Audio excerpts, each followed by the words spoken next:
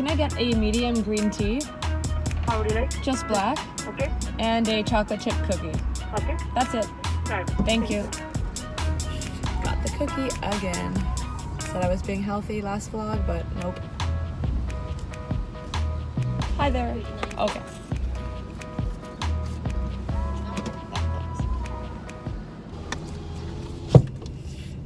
Ah, okay. Guys, it has been a while. It has been a hot minute since I have vlogged. I'm well aware. Don't mind the RBF mood right now going on. Um, yeah, I'm not wearing my contacts this morning, so In 600 meters, turn right on Edenbrook Hill Drive. this is like a repetition of last vlog. Um, yeah, but I'm not wearing my contacts this morning, so I'm just wearing my prescription sunglasses. But those will be off in a minute. Anywho, um, yeah, it's been a real long time since I've vlogged. I'm really sorry. I will update you all when I get into the classroom. But yeah, there's a lot that was going on, and if you're an educator, you do not Turn need me. right oh my gosh. light. representation of how the weeks have been going. Hot mess. But yeah, like I was saying, if you are an educator, you do not need me to explain how hectic life has been lately. Um, so yeah. Oh my gosh, bye. I will talk to you in the classroom. 61 Okay, let's retry that really quick. So, like I was saying, if you are an educator, you know how hectic the times have been, and I will update you all in the classroom about everything that's been going on and why I've been away from the vlogs. But I'm happy to be back today and having just an updated daily vlog. So, those who are new here, my name is Jasmine. I am a third year, first, second, and third grade teacher here in Toronto, Canada. I also teach French immersion, so any of you fellow French teachers that are watching and following along the journey, um, I'm really happy that you're here because I feel like the French community is very much a minority on the online web world. So I would love to connect with more French teachers here. So yeah, thank you for watching and feel free to reach out. By the way, even though I have been inactive on YouTube, I have been active on my Instagram ish, a little bit more. Um, so feel free to follow me over there if you would like to stay up to date. So my Instagram is at first grade Frenchies, just like here on YouTube. All right, let's go into the school and I can start updating you on everything that's been going on.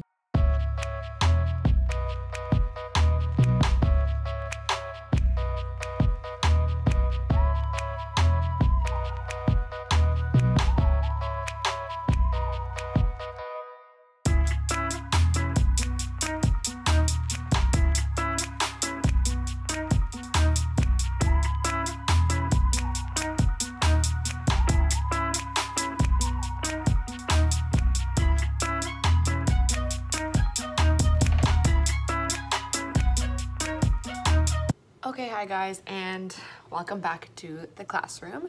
Um, so let's just get into a backstory of why I've been away for so long. First of all, pandemic teaching, self explanatory. It's been crazy and busy, and just picking up a phone or vlog camera right now just seems so unimportant in a way. And I'm not saying that in a you know mean way, like oh I don't care about this channel. It's just that so much is going on that this is like one of the last things I'm actually honestly thinking about because you're there for the kids, right? So that goes without saying, and I'm sure any teacher or YouTuber can relate to that, that obviously that duty comes first. So I was really focusing on them because we had another reorganization. So classes changed again. Um, parents were given the opportunity to switch. If they were in person, they were allowed to go online. And if any were online that wanted to come in person, they could switch. Um, so some switched, and so I did increase my numbers, which is like ironic. You would think it would go lower, but it went higher. Um, so I have more students now in my classes, and now it's frozen, and parents can't switch anymore until February. So we have like little blocks of time where they are allowed to switch, but then after that, it's like frozen, and now it can't change. So in a way, it's nice because it's kind of some certain like stability. Um, so yeah, I got another student in my grade one class. So now I'm at 10, which is nice. It's still small. So 10 in my grade one class. And then for my two, three split class, we are at 23. So that's a really big class. Poor kids have like no space at their desk, but you know, they're happy and they're all together and we have a good time. So that's good. So anyways, I was getting used to all the uh, adjusting of new students and all of that stuff. And last time I vlogged was my Halloween crafts video, so that was around Halloween, which is a crazy time. Then my birthday was November 2nd, so happy birthday to me. I'm now 26. So that was my birthday weekend. So obviously I took the weekend off. I had such an amazing weekend. Um, and then what else happened? My car, you already know about the mishap where my car got hit last couple weeks ago. I had to go take it in, got a loaner car. Then it was parent teacher conferences and that was virtual and that was insane. I have never experienced something like that. It was so interesting. But um, yeah, so we, we did them virtually and I was actually in the classroom doing them just on my MacBook laptop. It was so weird, but it was also really cool in a way. Um, just to be able to connect like that it was nice to really see like families' faces and get to know some students better for those who I haven't met their families. So yeah, just honestly a lot going on. So I feel like it's slowing down. It's Friday today. We can take it a bit more easy. Um, a couple vlogs ago, I posted about um, class raffles. And so funny enough, today is another class raffle because we have one every month. So that's crazy that it was a month ago that I did that when it feels like it was just a few weeks or like not even. So yeah, we have another raffle today, which will be a fun day. So I already know the spirits will be high today. Um, yes, but that's basically my update. Nothing crazy, but I have some really, really big news. And so this is another reason why I've been so busy and why I have been inactive is because, by the way, if anyone knows me, they know this is like a huge deal because I've only been talking about this for about four years. So it's finally happening. I'm getting a puppy Oh my gosh. Okay, so I'm getting a puppy, and not just any puppy, my dream dog, which is a French Bulldog. Oh my gosh. Okay, so obviously my channel name, First Grade Frenchies, is a play on, you know, French students and all that, and I'm a French teacher. But low-key, it's also because I love Frenchies. I've loved French Bulldogs literally since my year abroad when I studied in Paris and I saw them everywhere, all over the parks. And I was like, what is this breed? And it was so adorable to me and I just loved Frenchies ever since. And so me and my boyfriend, we both love them. And so we decided, you know, like now is the time. We're kind of settled. No one's traveling nowadays. So we're at home. Um, he works from home, so he has the time to train a puppy, right? Like he can be there to watch and potty train and all that. So we were just like, you know what? Why not? Like we've wanted this for a long time. Let's do it. Let's let's take it to the next step. So we're really excited, um, and that's coming next week. So I've been prepping, being the crazy dog mom. I've been buying everything off Amazon that I probably don't need. Um, but yeah, so you're gonna see definitely um, some updates of the puppy in hopefully a couple of vlogs. And I'll, uh, eh.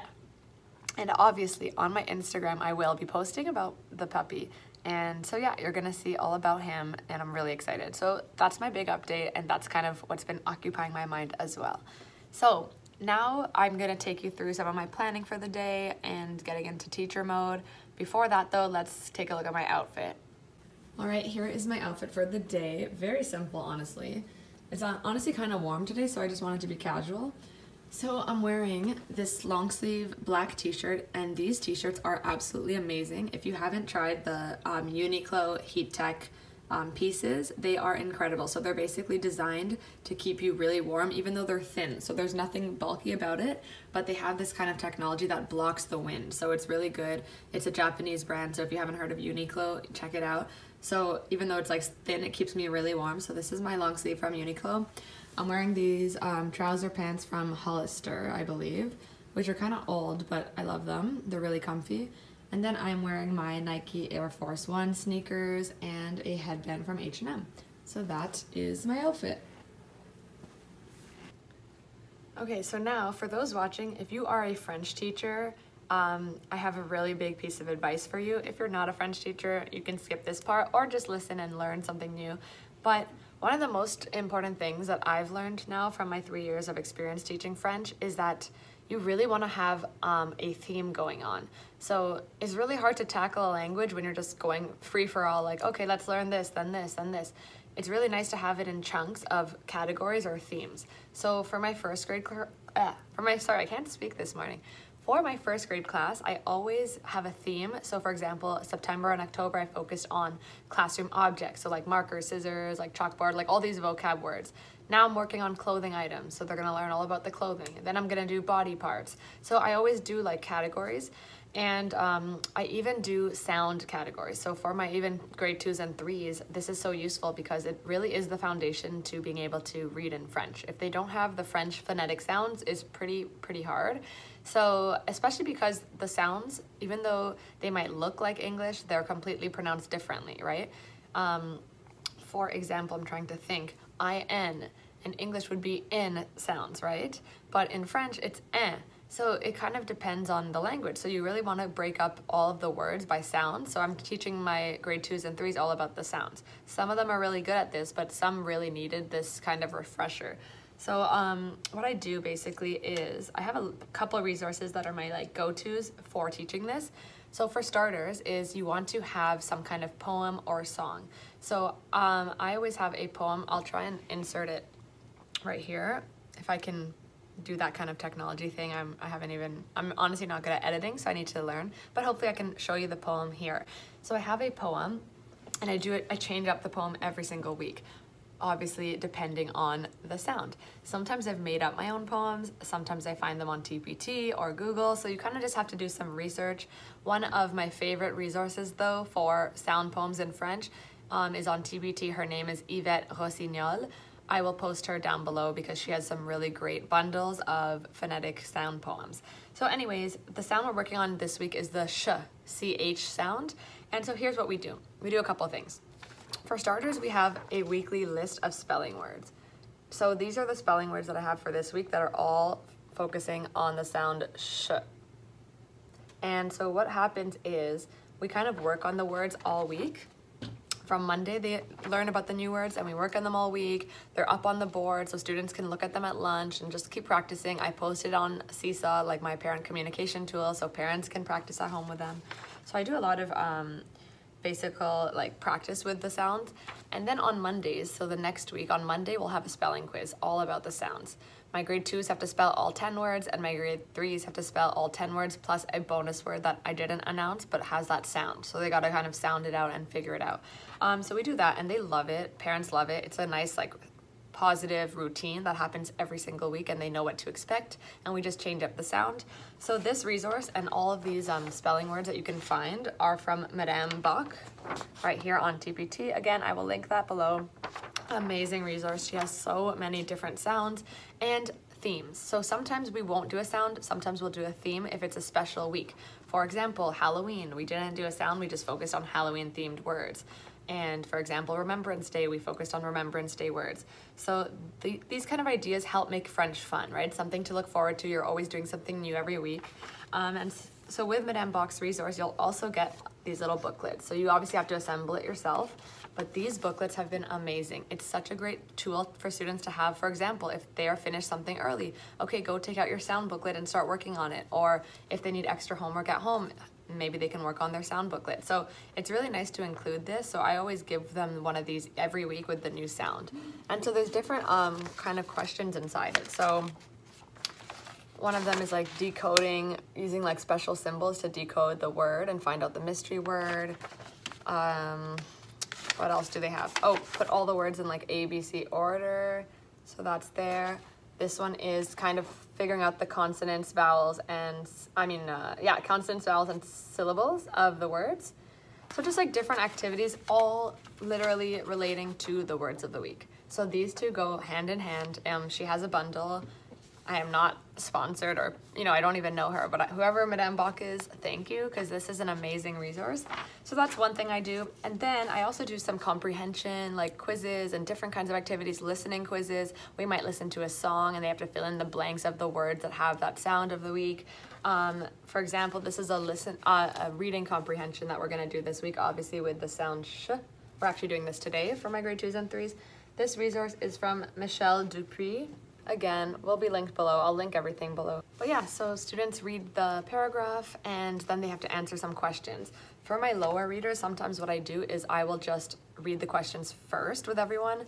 Um, I try not to do too much helping because I really want to see what they're doing. But of course, some do need assistance and you have to, you know, accommodate them. So sometimes I'll just read the questions for them and explain what they mean, or we'll read the whole paragraph together and then I'll give them the paper and then they can start reading it on their own and trying to decode it. So I usually do that. But anyways, um, yeah, so all these kind of things work really well together for teaching French. So sounds, sounds of the week, um, phonetic, yeah, phonetic sounds, having groups of you know vocab so body parts clothing um, animals like really grouping your stuff and also having lots of songs honestly. Songs are so important. With my first graders i do a lot more songs. It's a bit hard this year with masks and all that so you know, I, if you can't do that, I know some schools don't allow singing, apparently. This is what I've heard. So if you're not allowed that, then definitely just do poems because it's a speaking, it's at a speaking pace. You don't have to be singing or really, you know, um, like forcing your throat and your, your vocal cords.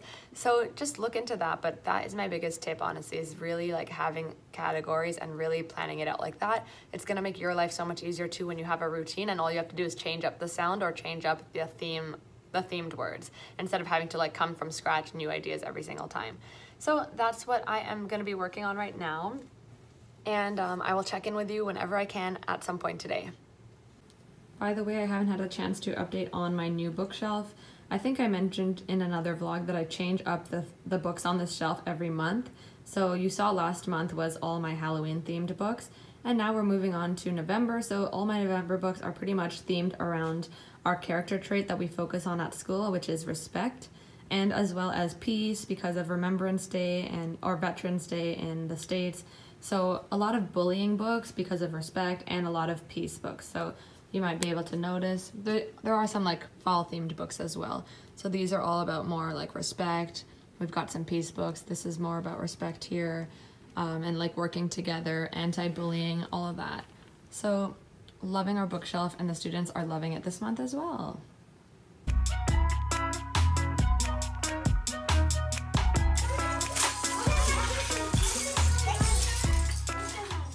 Hey guys, okay, so I'm on prep, so I'm in my um, partner's class, my teacher partner's class, and this is where I spend the other half of my day. Um, and I told you it's a big class with 23 students. And so yeah, I just wanted to show you a couple things that I was talking about this morning regarding my French poems and all that stuff. So I'm gonna show you a couple things around the class. So here is the sound poem I was talking about. So these ones are from Yvette Rossignol, who I talked about, and she has all these different poems re uh, um, related to specific sounds. So we are doing the sh sound, so this is our poem. And then over here in this area of the class, I have that French little um, pocket chart.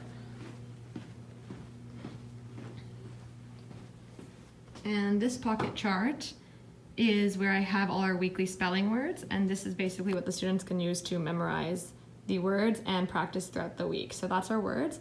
And then down there is where I put the raffle. So as you can see, today is our raffle day. So I change that up all the time. So that's a couple things. I also have my um, duotangs organized over there, which I showed in the last vlog. And yeah, so now I'm gonna just use my teaching partner's desk and just do some marking because she's in my class teaching my first graders. And so yeah, I'm gonna do a little bit of that. I'm right now marking this little writing project we did in French about my ideal animal. So we're doing opinion writing. So I'm just gonna like look over their paragraphs and basically mark that. So yeah, that's what I'm doing right now. And I will check in with you whenever I can.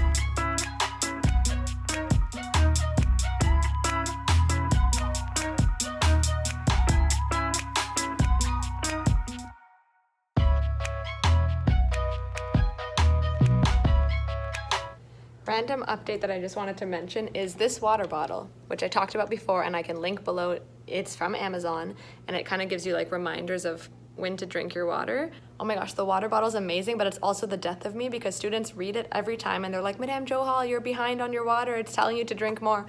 So it's really funny. But anyways, yes, lifesaver, always have one of those water bottles on hand during your teaching day.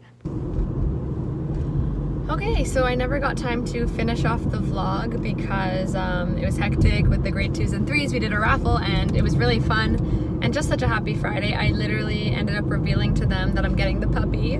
Um, so they were so thrilled. Honestly, like probably as excited as I am. Like for me, they are just so excited because they know I've been talking. They, some of these kids know me for literally three years, so they know I've been talking about having a dog and wanting a dog for so long. So they were really happy. Um, even though I'm not getting it this weekend, it's next weekend, but still, I wanted to tell them. So that was fun. Anyways, um, it's Friday now, so I am Friday afternoon, evening. So I'm now heading out.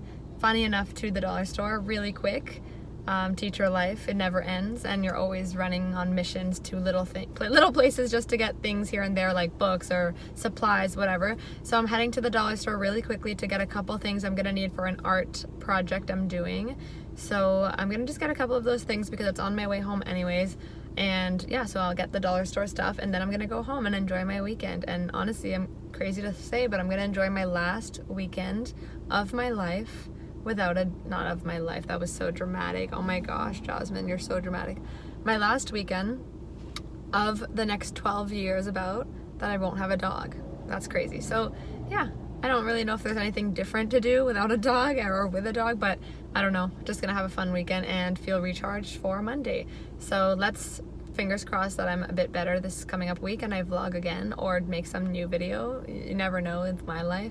So we'll be making hopefully a next video and if you guys like this content and you love following along on my teacher journey, please subscribe, that would mean the world, or leave a comment and just interact, that would be awesome. So I will see you in the next video.